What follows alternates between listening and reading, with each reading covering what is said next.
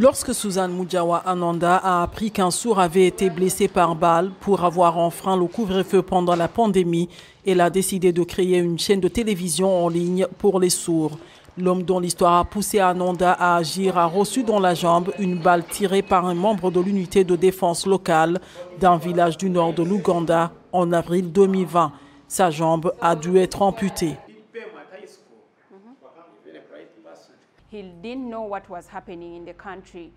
Il ignorait qu'il y avait un couvre-feu et se déplaçait pendant les heures de couvre-feu. Alors quand l'agent de sécurité contrôlait les gens en déplacement, il a demandé au sourd d'expliquer pourquoi il se trouvait dehors durant les heures de couvre-feu. Malheureusement, le sourd ne l'a pas entendu, il a continué à se déplacer, l'agent a ouvert le feu sur lui.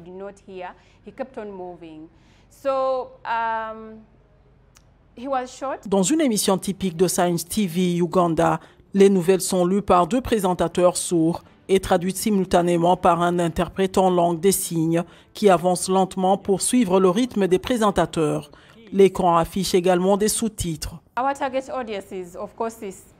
Notre public cible est bien sûr les personnes malentendantes, les sourds, mais nous voulons aussi inclure tout le monde. Tout d'abord, les gens aspirent à apprendre la langue des signes et Sing TV, Uganda, est une opportunité de l'apprendre car lorsque nous diffusons nos informations, nous nous assurons qu'elles sont accessibles à tous, qu'ils soient entendants ou non. Nous avons des interprètes en langue des signes qui doublent les présentateurs sourds lorsqu'ils présentent les informations et nous nous assurons également que nos informations soient sous-titrées. Donc en gros, tout le monde peut y avoir accès. À la fin de l'année dernière, Ananda s'est associé à un ami sourd, Simon Eroku, et après avoir obtenu une subvention, ils ont fondé Science TV qui diffuse des bulletins d'information pour les sourds et par les sourds.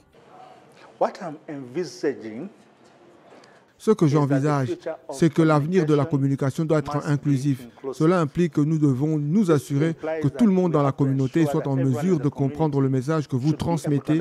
Et nous croyons que si l'information est inclusive pour tout le monde, même nous, les sourds, serons en mesure d'en bénéficier. Cette nouvelle station fait la fierté des malentendants en Ouganda.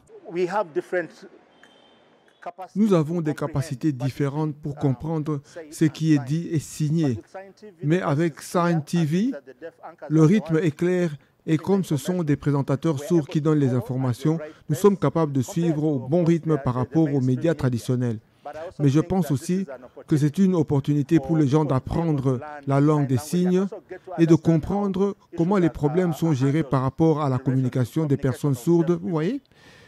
Et nous, les sourds, nous sommes fiers de savoir que nous avons une télévision qui valorise notre langue. Pour l'instant, Science TV Uganda ne produit qu'un seul bulletin d'information hebdomadaire le samedi en raison de contraintes financières, techniques et de personnel, mais Ananda a fait savoir qu'elle ambitionne d'élargir son offre. Donc nous voulons avoir des sports, nous voulons avoir des talk shows, nous voulons avoir des nouvelles, des nouvelles quotidiennes, où nous pouvons avoir des histoires qui ont un impact, qui informent les personnes sourdes de ce qui se passe dans le pays au quotidien. Jusqu'à présent, environ 800 téléspectateurs regardent les bulletins individuels et son nombre est en augmentation.